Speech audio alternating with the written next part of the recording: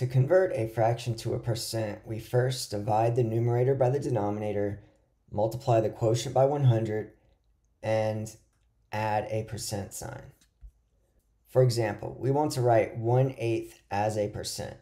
We're going to take 1, divide it by 8, and get a decimal. 0.125. The next thing we do is multiply that number by 100 which essentially is just going to move the decimal point two times to the right.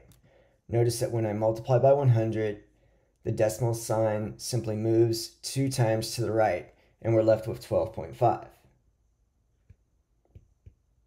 And from here, we just want to add a percent sign, and we have 12.5%. In the next example, 5 6, we want to express that as a percent. Again, 5 divided by 6, we get 0.83 repeating.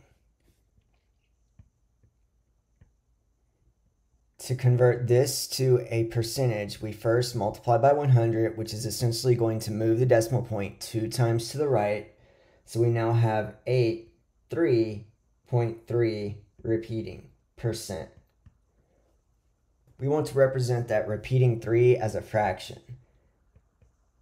So we get 83 and one third percent.